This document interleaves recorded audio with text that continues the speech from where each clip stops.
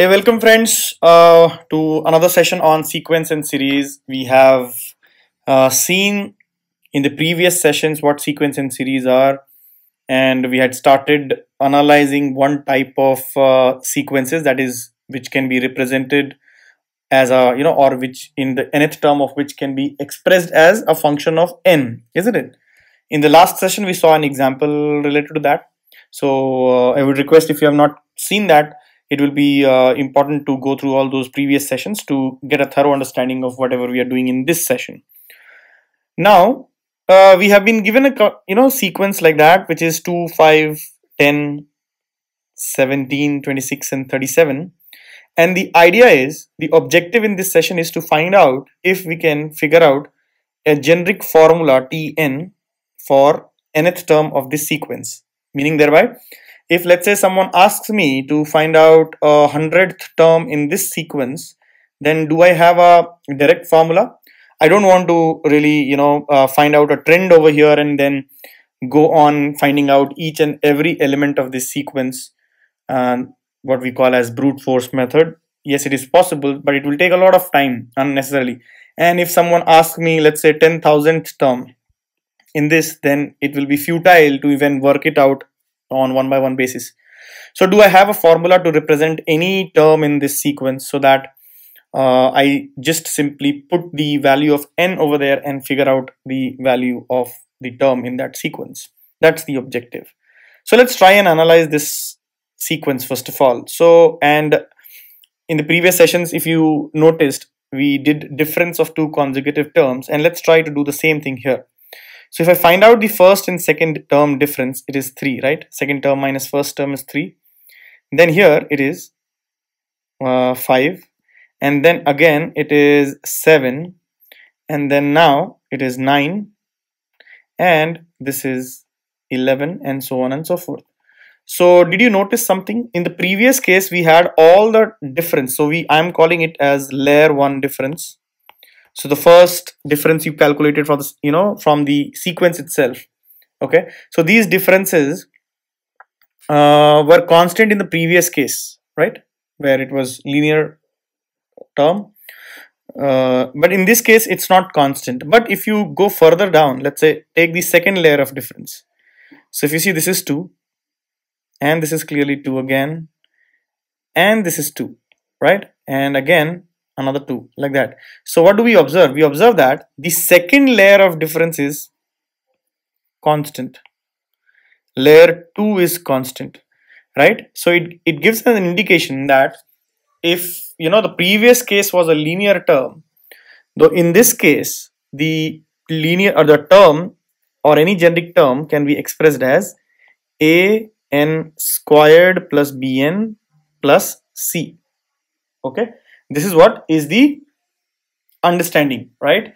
There is a full-fledged proof around this particular thing, but we are not going to discuss the proof here. We are just trying to implement this. What do I say?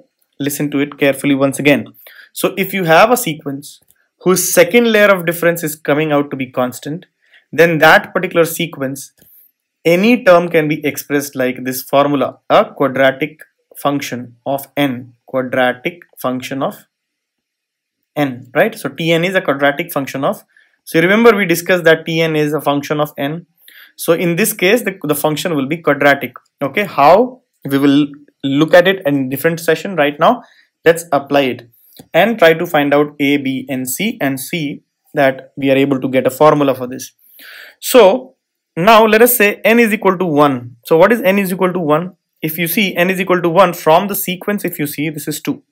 So let me write 2 and from from our formula if I deploy n is equal to 1 here in these two places I will get t1 as a into 1 square plus b into 1 plus c. Correct? That is a plus b plus c. Right? A plus b plus c is my first equation. A plus b by c. A plus b plus c.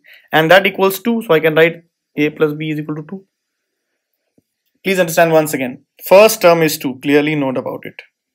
No doubt about it. And I'm assuming that this formula is going to work for every term. That means if I deploy n is equal to 1 in this relationship, I will get the nth term. So if n is equal to 1 here, put n is equal to 1 in this relationship, you will get t1. So t1 from the given formula is a plus b plus c and from the actual value it is 2 so I can equate both of them. So from formula it is a plus b plus c and from actual value it is 2. So let us try and let us call it equation number 1. Let's go for n is equal to 2. If you see n is equal to 2 from the sequence the number is 5. Isn't it? So let us write 5 here. 5 and from the formula what will it be? It will be a into 2 square plus b into 2 plus c simply. So again after simplification you can see this is 4a plus b plus c is equal to 5. From the sequence the second term is 5 from the formula it is not only b 2b sorry I missed a 2 here. So this will be 2b correct? This is equation number 2 okay? But we have three variables so we will not be able to solve for a b and c. So let's go for the third. N is equal to 3 n is equal to 3 and you can pick any n for that matter. n equals to 4 5 whatever the answer or the solution is not going to change. So the third number was 10 from the sequence if you see.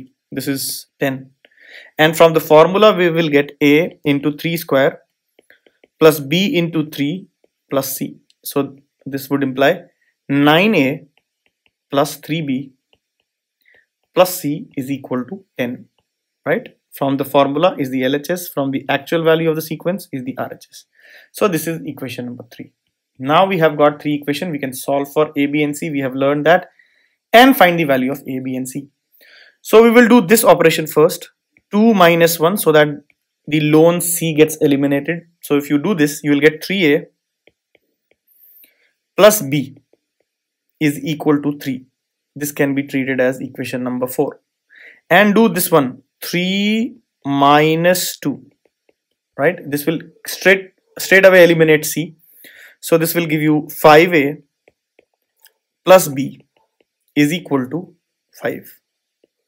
10 minus 5 is 5. So this is equation number 5. Now, can I not eliminate b from 4 and 5? Yes. So do 5 minus 4.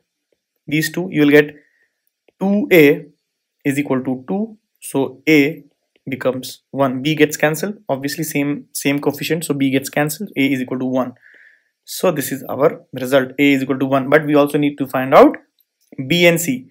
So if you use 4 from 4 from 4 what can we say b is equal to 3 minus 3a correct and a was 1 so 3 minus 3 into 1 is 0 right so b comes out to be 0 and from there if you check equation number 1 equation number 1 was from 1 from 1 and I will write that equation 1 here. A plus b plus c was equal to 2 so a is 1 b is 0 so c is equal plus c is equal to 2 so what will c be? C is equal to 1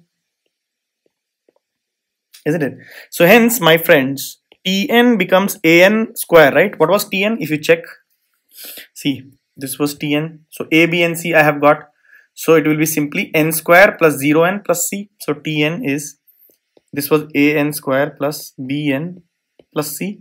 Now deploy all the values which we found out. A was 1 so it is n square 1 times n square plus 0 times n plus 1 c was 1 so hence it is simply n square plus 1 okay let's check whether it is actually true so my general formula is coming out to be tn is equal to n square plus 1 let's go back to the sequence and see whether it is actually true so let me write the sequence here. So we are getting Tn is equal to n square plus 1. And now check. Let's say n is equal to 1. So Tn from our formula is 2. Very correct. True. n is equal to 2. So Tn will be 2 square plus 1 which is 5. That's also correct. So all this is, so n is equal to 3 if you take. Pn will be from our formula 3 square plus 1 which is 10 see all of them is matching. So do, can't I find out 100th term? Very easily. So t 100 will be simply what? n square plus 1 right? This is what the formula is. So n is 100 so put 100 square plus 1 so that means 10,000 plus 1 that is 1 0 0 0 1 10001 okay? So this is what is the hundredth term without even you know doing any calculation we can or for that matter any one by one operation and finding the next next next next like that. Instead of that directly I could figure out what is the value of t100 likewise for any any n whether it is 1 lakh 1 million 1 billion whatever you will be able to figure out the nth term in this. So what did we learn in this session guys? So hence if the second layer of the difference is constant then the nth term will be of this fashion right? So keep this in mind. So nth term will be a quadratic function. If the first layer was constant it will be a linear function. And in the next session we'll see that if the um, third layer is also constant right? Third layer is constant then it will be a cubic function. So i hope you understood this